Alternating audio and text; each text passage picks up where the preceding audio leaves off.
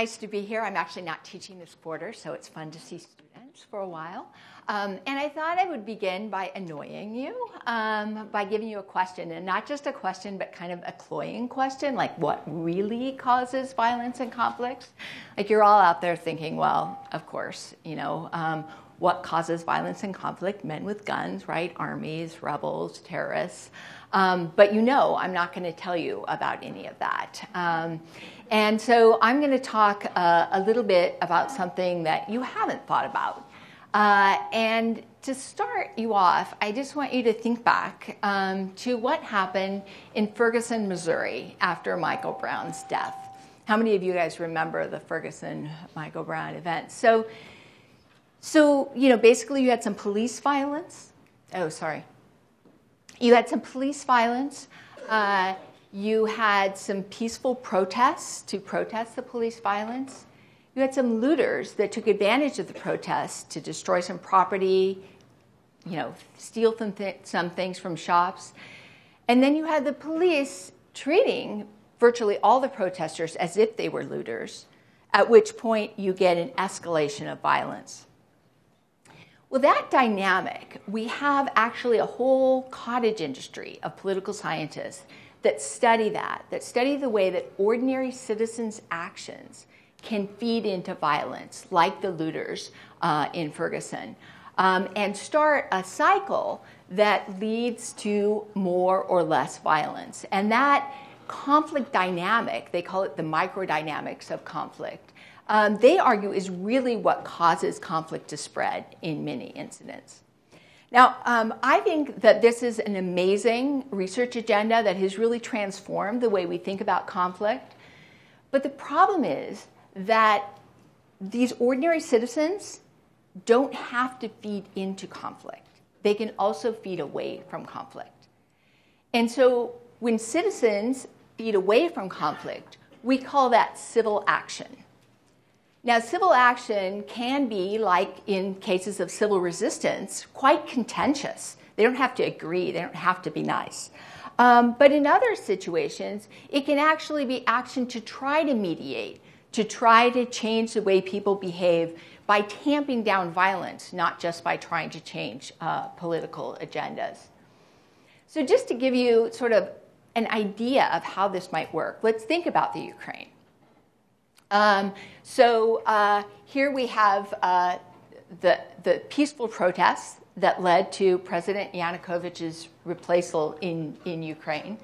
Um, you have, uh, and, so without any violence, you have a president leave.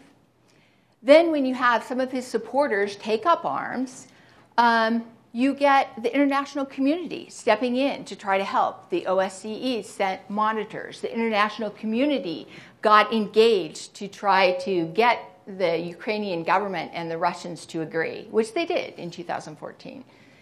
Then, when you have armed militias continuing the violence, you get cities, people in cities, deciding to take matters into their own hands. In Donetsk, you get peaceful protests. In Mariupol, you actually had steel workers from one of the major steel companies there patrolling with police, trying to tamp down violence and restore order. Now, the Ukrainian conflict is still ongoing. Whoops. Um, but we do have evidence of conflicts where this kind of civil action has actually led to conflict, the resolution of the conflict. Um, and here we have a picture of 2003 um, Liberia. Uh, there you had peaceful protests that were animated by a widely reported sex strike, which was instrumental in getting President Charles Taylor to agree to ne- negotiate with the rebels. We've heard talk about Colombia already, um, but one of the stories that you might not have heard about Colombia is the degree to which a pro peace consortium of business leaders has been instrumental for many years in establishing hotlines between rebels and the government, in um, funding peace bonds, um, and in developing a number of conflict sensitive practices so that when businesses are operating in conflict oriented zones, they're not um, feeding into the conflict. But civil action doesn't always lead to the end of conflict. Even when it doesn't, though, it can affect the level of local violence. So here we have two cities in Mexico. At the top is Monterrey, um, which is an industrial hub in the northeast. In the south is Acapulco, a tourist destination and uh, a major port. In Monterrey, you have again a consortium of business leaders, but this time working with representatives from the national government and also civil society groups in order to generate an alternative peace force one that wasn't corrupted by drug money. And they are watched by a citizens watchdog group. And people are able to report crimes through social media apps. Um, and these are crimes that are undertaken by criminals and drug lords, but also undertaken by the government. So the, this is really giving civil society an avenue in to, um, to influence in Monterrey. All this added up to the violence in Monterrey went down. In Acapulco, on the other hand, you haven't had this same kind of coordination or civil action. You've had a lot of um, individual action to hire private security, to pay off the drug lords um, and their extortion uh, requirements, and um, violence has remained unchanged. So the level of local violence can be affected by civil action.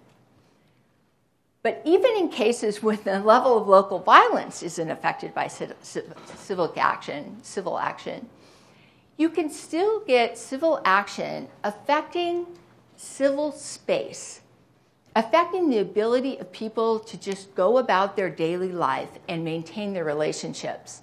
And there's just a few examples up here. Um, the one uh, over on the far right is, is actually a barricade that some local artists in Mariupol decorated um, to sort of make light of the fact that they're constantly getting these attacks.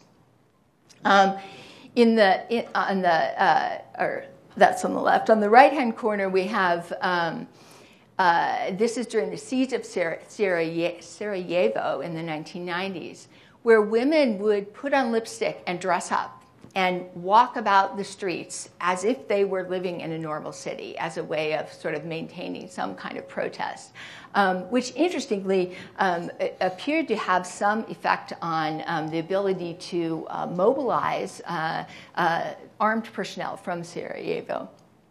In the bottom, you have um, one of the more dramatic and heart wrenching um, examples of the moment, which are the white helmets uh, in, in Syria that uh, were nominated for a Nobel Peace Prize. These people are just amazing, doing work, rescuing, uh, but also rebuilding, educating, doing other kinds of things um, in that uh, very desperate environment. And this is important. This is important for these people's day to day lives, obviously, but it's also important because it maintains those relationships, or in the case of the white helmets, really um, enlarges them. And those relationships will be the key to governance um, after the conflict is over. And they might be the key to generating some movement toward um, uh, some diminishment of local violence and perhaps even um, ending the conflict. So, with a group of colleagues at the Korbel School, uh, we are undertaking research on civil action. And uh, our hunch is that our exclusive focus in academia, the people publishing the APSR that you just saw, um, on states, we all talk about states, on macro narratives of conflict, and on violence and violent actors alone, has really distorted our understanding of conflict's dynamics. And we think that by studying some of the civil action that's going on, we're going to get a fuller understanding of conflict and a better toolkit um, with which to deal with it. Now, um, with the help of the Carnegie Corporation, who's funding the research, but also funding our experimentation in innovative ways of thinking about bridging the gap, um, we are trying to bridge the gap with this research. And part of it is bridging the gap simply by doing research that is broadening our understanding of conflict and broadening our set of acknowledged tools for dealing with conflict. And already we are seeing policymakers coming to us and wanting to understand more about who are these various groups and actors that are undertaking this kind of action? What can we do to influence them? How can we support them? Um, so, so we're having that kind of effect.